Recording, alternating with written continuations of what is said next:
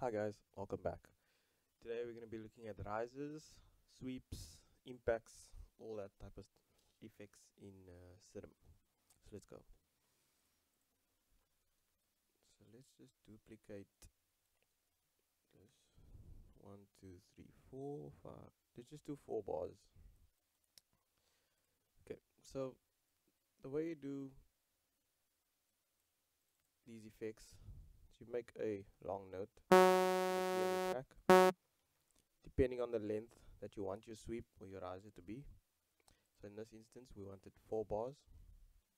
We'll open up our system so the main thing is your LFO you draw your shape of which you want your so this is a riser.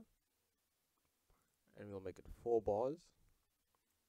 I think in here as well there are some basics saw up same thing. So that just do that. Okay. So LFO1 on the pitch. Then you want to go into the matrix change the type to one direction. So now the pitch will go up. And make sure trig is on so it's beginning. Okay so that's your your major one. Then can add a filter the low pass for the darker deeper ones and the high pass the generally use the high pass ones.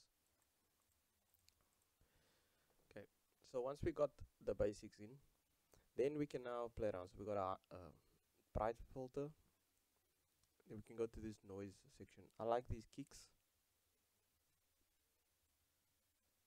excuse me. I like these kicks. They add just a bit of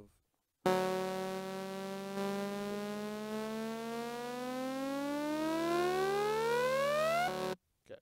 So what I like to do is I like to throw it on the pitch as well. Not too much. And then just pan it a bit so it moves around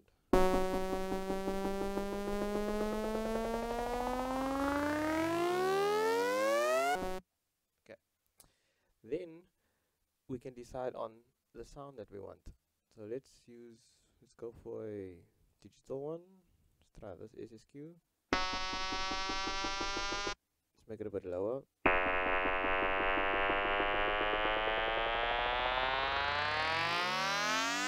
Okay then what we can do is we can take the same LFO and throw it on the wavetable position so that it moves over time.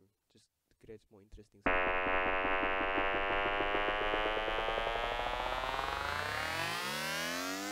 Okay, then we can as, as well throw it onto the cutoff if we want, just so the cutoff opens.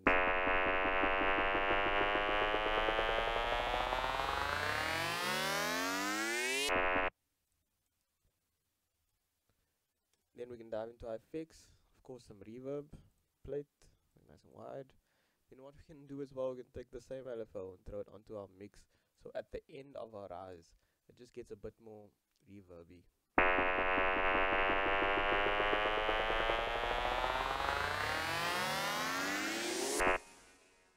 What we can do is we can do delay as well. Can have it off. And just at the end kind of delays a bit for us. And then you can add some distortion. This is all to taste now because the basics was to build this up.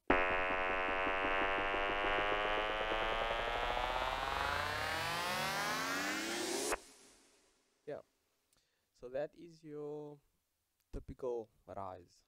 And then you can change the wavetable, you can change the filter, you can change the sound, change whatever you want, so long the basics is fine. So that is for our rise. So if we want to do a impact or a hit, we all we're doing is changing the shape. So this time it's going down. And then I like to use this white noise, bright white. Take the pitch off. I don't really want a pitch noise.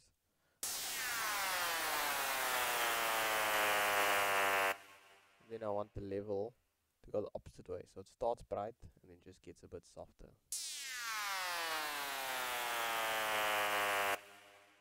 Throw that through the filter. filter.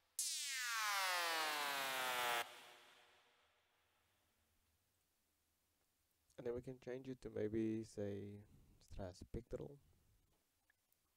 What's this?